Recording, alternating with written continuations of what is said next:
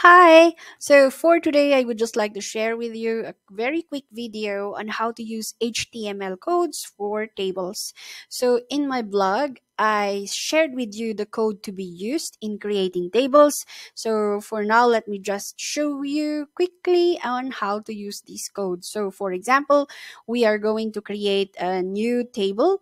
Um, First thing is if in you if you are in WordPress is to make sure that you are using the code editor. You can actually shift from code editor to visual editor here.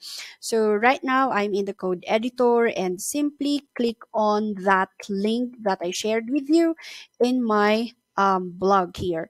And now when we uh, let me save the draft and then preview Okay, preview. Preview in a new tab. Okay, so this is how it looks like.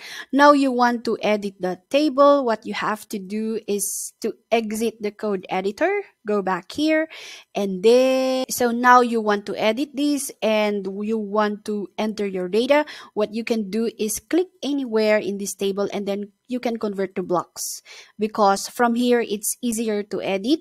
You simply click on this um, icon click on that and then from here you can insert a row after here for example here or you can add additional columns.